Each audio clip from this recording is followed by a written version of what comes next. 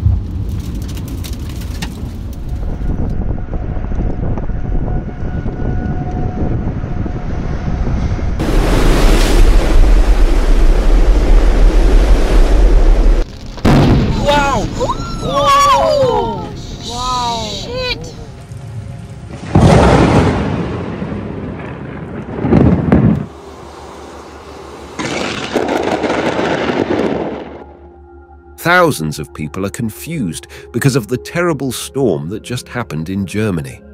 We are updating more information. A terrible storm had just swallowed Germany. What's going on? Is that a natural disaster or a sign from heaven? In this episode, I will explain in more detail. Smash that thumbs up button for me, leave me a comment down below, and share this video with your friends. And let's get started. That day, Germany was engulfed in the devastation of a fierce storm.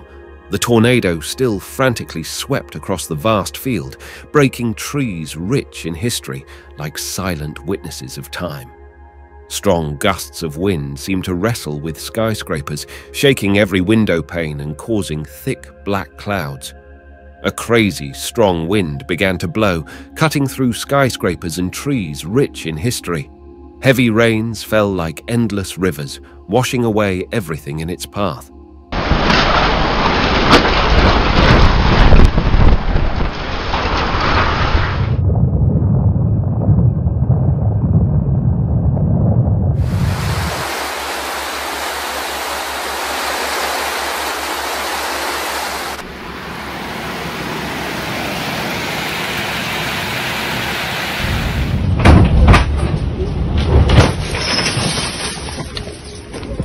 On the streets of the big city, the roads became deserted, leaving only the ruins of chaos.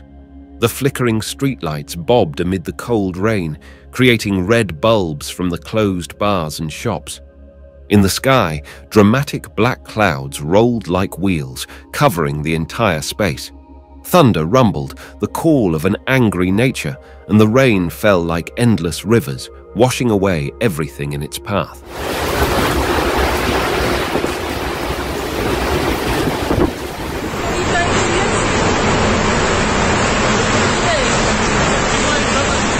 Der ist reingeknallt. Ja. Ach du Scheiße. Der ist rein. Oh. Da.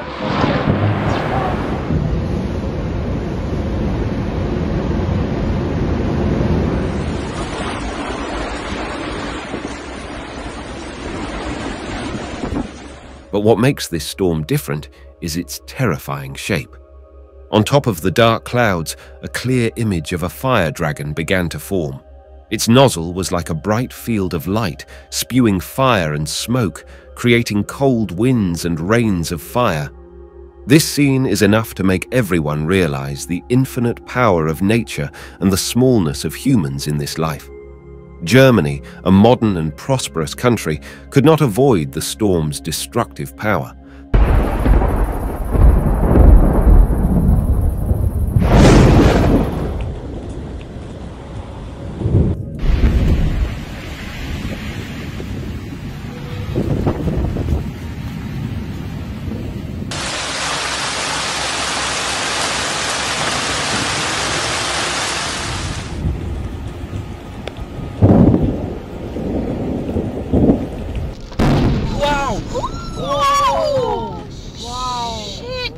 Thunder, blue and red sparks, like the hammers and axes of the lightning god, shot down from above, illuminating the night sky and making everything light up as if in a brilliant display.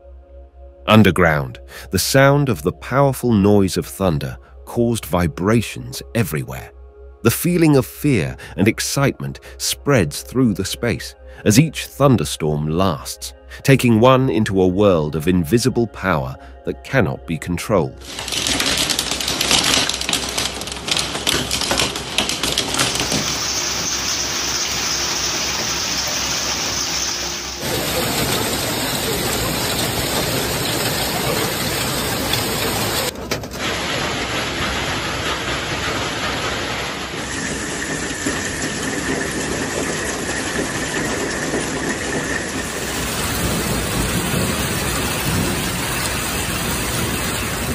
Thick black clouds came, followed by the sound of thunder and strong winds. Then from above, hailstones began to fall, like cold stones from another world. The hailstones hit the roofs and the dirt with unbelievable force, shattering everything in its path. Trees shook, and flowers and leaves scattered under the destructive force of the stone storm. The villagers, even though they were prepared, could do nothing but wait for the storm to pass. The noise of the stone hitting surrounding objects, accompanied by the screams of the howling wind, created a picture of horror and fear. The feeling of vibration is like the call of the earth when everything around begins to vibrate with an uncontrollable force. Outside, the roads turned into cracked strips like scars on the surface of the earth. Destruction spread from place to place as historic buildings and structures were destroyed, leaving behind a scene of devastation. Natural disasters such as violent storms and devastating earthquakes cause a series of notable consequences. First, there is human loss when thousands, even millions of people face death, injury, and mental loss.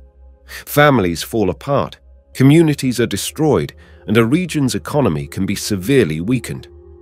Second, there is damage to infrastructure and the environment, with civil work such as houses, streets, bridges, and electricity and water systems destroyed or severely damaged.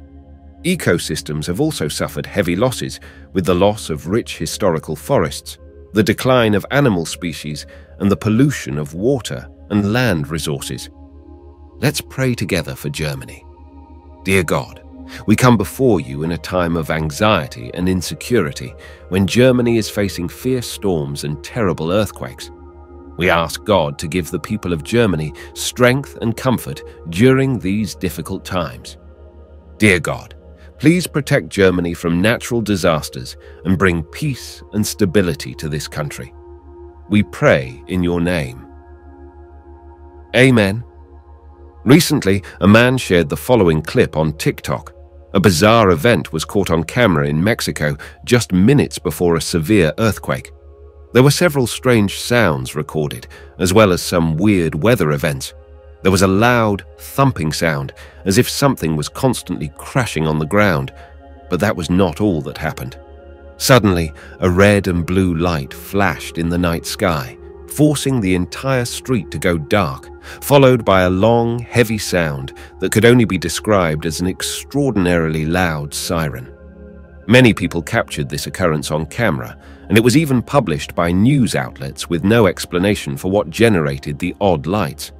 People in the TikTok comments section allege that the government is testing HAARP or Project Bluebeam and that hearing these noises will have no positive consequences. People in the video appear to be really afraid. There is still no explanation for the video, but perhaps this is a sign that the end times are coming, because it appears in the sky of Mexico when an earthquake occurs, and coincidentally, it also appears in the sky of Germany. I don't think this is a coincidence. As outlined in biblical prophecy, the signs of the end times are unmistakably present, heralding a sequence of extraordinary events that defy human comprehension.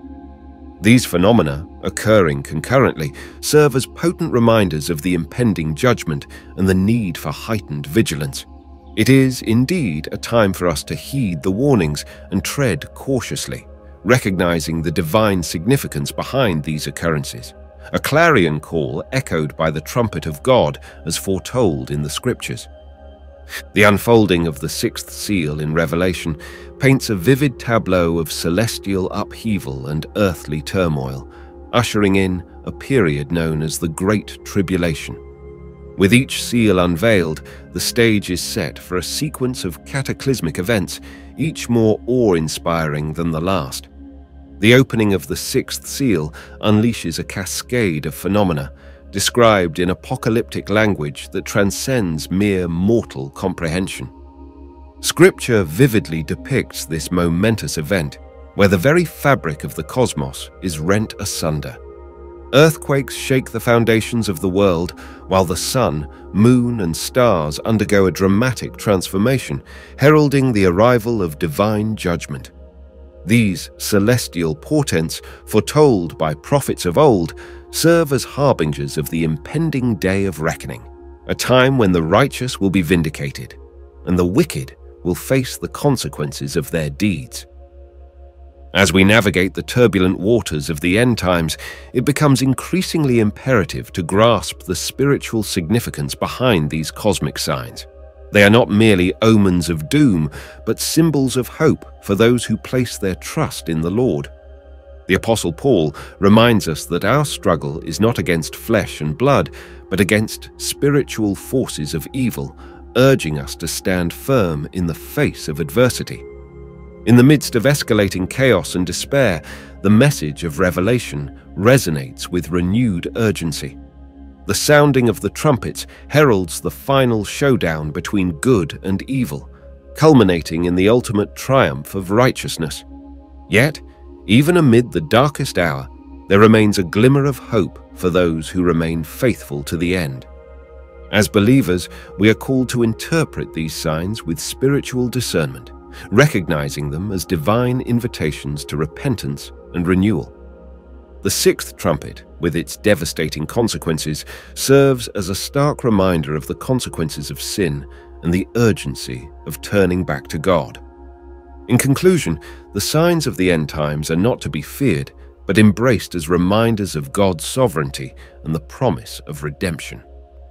As we await the fulfillment of prophecy, let us stand firm in our faith, knowing that our redemption draws near.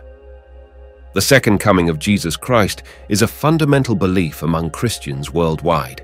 It is the belief that Jesus will return to the earth in bodily form to establish his kingdom and judge the world. The Bible provides numerous prophecies about the second coming of Jesus Christ, and understanding these prophecies is crucial for Christians seeking to live according to God's will. In this article, we will explore the second coming of Jesus Christ, including the prophecies, the signs, and what we can expect when he returns. The Old Testament contains several prophecies about the coming of the Messiah, including his second coming. One of the most well-known prophecies is found in Daniel 7:13, 14, which reads, I saw in the night visions, and behold, with the clouds of heaven there came one like a son of man, and he came to the Ancient of Days and was presented before him. And to him was given dominion and glory and a kingdom, that all peoples, nations, and languages should serve him. His dominion is an everlasting dominion, which shall not pass away, and his kingdom one that shall not be destroyed.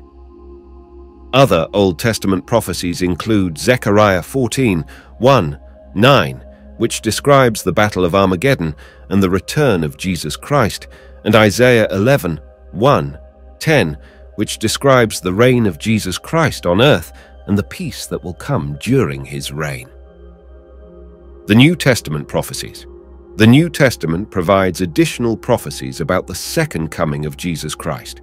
One of the most well known is found in Matthew 24, 30, 31, which reads, Then will appear in heaven the sign of the Son of Man, and then all the tribes of the earth will mourn, and they will see the Son of Man coming on the clouds of heaven with power and great glory. And he will send out his angels with a loud trumpet call, and they will gather his elect from the four winds, from one end of heaven to the other. Other New Testament prophecies include 1 Thessalonians 4:16, 17, which describes the rapture of the church, and Revelation 19:11, 16, which describes the second coming of Jesus Christ as a warrior king who will defeat his enemies and establish his reign on earth. The sign of the second coming. The Bible provides several signs that will precede the second coming of Jesus Christ. One of the most significant signs is found in Matthew 24, 6, 8, which reads, And you will hear of wars and rumors of wars. See that you are not alarmed, for this must take place, but the end is not yet. For nation will rise against nation, and kingdom against kingdom, and there will be famines and earthquakes in various places. All these are but the beginning of the birth pains. Other signs include an increase in lawlessness and wickedness, Matthew 24:12, false prophets and messiahs, Matthew 24:24, and the preaching of the gospel to all nations, Matthew 24:14. The events surrounding the second coming. When Jesus Christ returns, there will be several events that will take place. First, the dead in Christ will rise from their graves and be reunited with their glorified bodies. 1 Thessalonians 4:16. Then, those who are alive and remain will be caught up together with them to meet the Lord in the air. 1 Thessalonians 4:17. This event is known as the rapture of the church. After the rapture, there will be a period of tribulation, which is described in detail in the book of Revelation. This period will last for seven years and will be characterized by wars, famine, and natural disasters. During this time, the Antichrist will rise to power and deceive many people, leading them away from the truth. At the end of the tribulation, Jesus Christ will return to the earth with his army of angels to defeat the Antichrist and establish his reign on earth. He will sit on the throne of David in Jerusalem and rule over all the nations of the earth. Isaiah 9, 6, 7. Benefits of believing in the Second Coming. Believing in the Second Coming of Jesus Christ has several benefits for Christians. First, it gives us hope and reassurance that one day we will be reunited with our Lord and Saviour. Second, it reminds us to live our lives in a way that honours God and prepares us for His return. Finally, it gives us a sense of purpose and direction as we seek to fulfill God's will and share the gospel with others. Staying motivated and accountable. As Christians, it is essential to stay motivated and accountable as we await the second coming of Jesus Christ. One way to do this is to read and study the Bible regularly, which will help us to grow in our faith and understanding of God's will. We should also pray regularly, seeking God's guidance and strength to help us live according to His plan. In addition, we should fellowship with other believers attending church services, and participating in small groups or Bible studies. This will provide us with encouragement, support, and accountability as we seek to live out our faith in a world that is hostile to the gospel. The second coming of Jesus Christ is a fundamental belief for Christians worldwide. Understanding the biblical prophecies and signs of his return is crucial for believers seeking to live according to God's will. We can find hope and reassurance in the fact that one day we will be reunited with our Lord and Saviour and enjoy eternal life in His kingdom. As we await His return, we must stay motivated and accountable, living our lives in a way that honours God and prepares us for His coming. Psalm 24, 9, 10. Lift up your heads, O you gates, lift up, you everlasting doors, and the King of glory shall come in. Who is this King of glory? The Lord of hosts. He is the King of glory. Selah. This beautiful psalm builds in anticipation and praise for the coming King who will reign in glory forever. The promise of the kingdom of God. 2. For if Abraham was declared righteous by the works of the law, he has something to boast about, but not before God. 3. For what does the scripture say? Abraham believed God, and it was credited to him as righteousness. 4. Now to the one who works, his pay is not credited due to grace, but due to obligation. 5. But to the one who does not work, but believes in the one who declares the ungodly righteous, his faith is credited as righteousness. No amount of human goodness is as good as is the hope and good news taught throughout the Bible. In the New Testament, we come to understand that this refers to the second coming of Jesus Christ to rule as the King of kings and Lord of lords over all nations. Revelation 11 15, 19 16, Acts 15 16, 17. After this, I will return and will rebuild the tabernacle of David, which has fallen down. I will rebuild its ruins, and I will set it up, so that the rest of mankind may seek the Lord even all the Gentiles who are called by my name, says the Lord who does all these things. At the historic Jerusalem conference of Acts 15, James summed up the conclusions of the conference.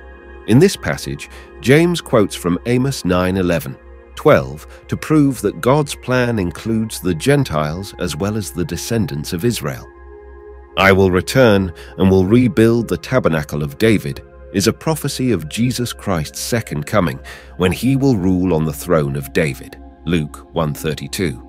All people, not just the tribes of Israel, will be blessed by Jesus Christ's righteous rule. The introduction to the prophecy of Daniel 11 is given in the preceding chapter.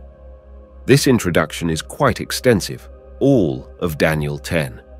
It begins, In the third year of Cyrus king of Persia, a message was revealed to Daniel, whose name was called Belteshazzar.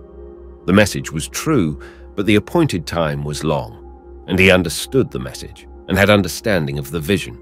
Daniel 10:1. According to the Expositor's Bible commentary, the third year of Cyrus was 535 534 in all probability just a few years before Daniel's death. Comment on Daniel 10 1. Through Nebuchadnezzar's dreams, Daniel 2:1, and through Daniel's vision of four beasts, Daniel 7, God had already revealed that there would be four world-ruling empires followed by the kingdom of God. Now, God was going to reveal to Daniel some amazing details about major world powers, beginning with the Medo-Persian Empire and continuing through the time of the end just prior to Christ's second coming. The angel that came to help Daniel understand the vision told him that its focus was on what will happen to your people in the latter days, for the vision refers to many days yet to come. Daniel 10:14. What would happen to the people of God, both in Daniel's time and in the future, was of great interest to him, as by then 42,360 Jews had returned to Jerusalem following a decree by Cyrus, allowing them to go back to their homeland. Ezra 2, 64. When was the book of Daniel written? The years Daniel mentions put this prophecy around 535 BC.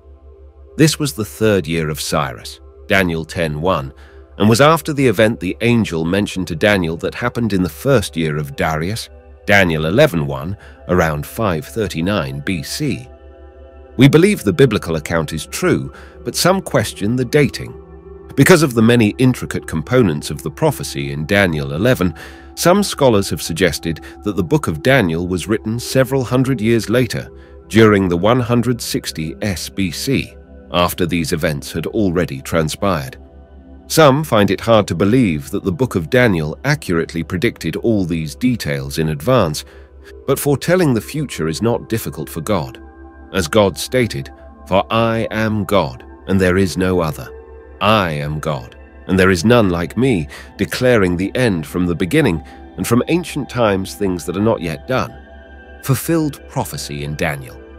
Since other prophecies found in the book of Daniel, such as the 70 year prophecy of Jeremiah and the 70 weeks prophecy, indicating the year of the appearance of the Messiah, were fulfilled exactly as predicted, we can have confidence that God also provided the details found in this prophecy in Daniel 11 long before they took place.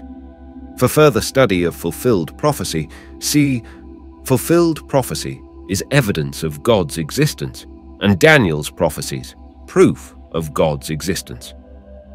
The initial aspects of the prophecy of Daniel 11 have taken place precisely as God predicted. A comparison of secular history with the biblical record will reveal the fascinating details. Other parts, including the identity of the end-time king of the north and the end-time king of the south, are yet to be fulfilled. These unknown portions of the prophecy have been sealed until the time of the end, Daniel 12, 4. An interesting point regarding this prophecy is that it appears to have been delivered orally. Unlike the preceding dreams and visions in the book of Daniel, which contained images that needed to be interpreted, this vision simply gave Daniel the words regarding what would happen to the Jewish people from this time forward. Daniel 10, 7, 9. The Medo-Persian Empire to be conquered by Greece. The prophecy of Daniel 11 begins with the prediction that three more kings will arise in Persia, followed by a fourth who would stir up all against the realm of Greece. Verse 2. Biblical resources, such as the Expositor's Bible commentary, provide the historical explanations for this prophecy. Regarding this verse, Expositors states, The Persian king who invaded Greece was, of course, Xerxes, who reigned 485 464 BC. Daniel 11, 3, 4 speaks of the appearance of a mighty king, whose kingdom would be broken up and divided toward the four winds of heaven. Expositors explains, verse 3 introduces us to the next phase in world empires, the rise of Alexander the Great. Although this verse does not make it altogether clear that this mighty king would inaugurate a new empire in place of the Persian one, verse 4 leaves us in no doubt that he was the ruler predicted here. In seven or eight years, he accomplished the most dazzling military conquest in human history. But he lived only four years more, and after one of his drunken bouts, he died of a fever in 323 in the imperial capital of Babylon. Verse 4 foretells the division of Alexander's domains among four smaller and weaker empires. Alexander the Great's empire divided, Following Alexander's death, his empire was divided among four of his generals. These four kingdoms and their rulers were Macedonia Greece, under Antipater, and his son, Thrace Asia Minor, under Lysimachus. The rest of Asia except Lower Syria and Palestine under Seleucus Nicator, and Egypt and Palestine under Ptolemy. The remainder of Daniel 11. 5, 39 then documents the actions of the last two of these kingdoms. Egypt to the south of Jerusalem, the location of Daniel's people, the Jews, Daniel 10:14, and Syria to the north of Jerusalem. In this section of scripture, the rulers and their successors are referred to as the king of the north and the king of the south. Who is the king of the north? So in Daniel 11, the king of the north refers to the successors to Seleucus ruling north of the Holy Land. Who is the king of the south? In Daniel 11, the king of the south refers to the successors to Ptolemy, who ruled from Egypt, south of the Holy Land. As our article, The King of the South, shows, the end-time King of the South may represent the leader of a confederacy of Arab nations, or a powerful Arab nation. As it was historically, Egypt will likely be involved. Daniel 11.42 Daniel 11 explained, the King of the North versus the King of the South Located geographically between ambitious kingdoms to the north and south, the Jewish people during post-exilic times were often caught in the rivalries for power between Egypt and Syria. While space does not permit a detailed explanation of every verse in Daniel 11, 5, 39, and its historical fulfillment, here are a few highlights. Verse 5. Expositors explains, the king of the south, verse 5, was to be Ptolemy Brain, Soter, son of Lagus, whose ambitions extended far beyond the borders of Egypt, over which Alexander had placed him in charge, to Palestine and the rest of Asia. The prince under Ptolemy I, who would become stronger than Ptolemy, I was Seleucus Nicator of the Seleucid Empire, Ibid. Verse 6 The agreement was a proposed peace treaty that called for Antiochus II to marry Berenice, the daughter of Ptolemy II. But Antiochus already had a wife, a powerful and influential woman named Laodice. She did not take kindly to being divorced. She therefore organized a successful conspiracy. Thank you for watching and stay tuned for the next video.